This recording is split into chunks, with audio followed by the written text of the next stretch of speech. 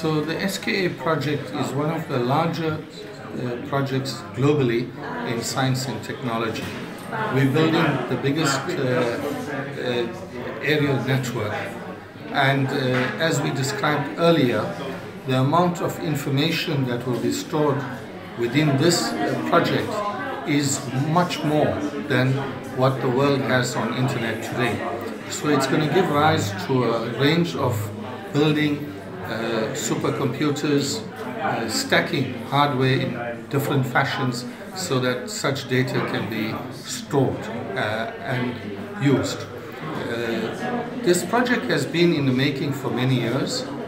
The, government of Italy has coordinated the working group that are partners to this project. The larger partners, of course, are South Africa, Australia, now in March, the first phase of the work of this working group comes to a culmination and the parties have reached a stage where they are ready to sign the heads of agreement.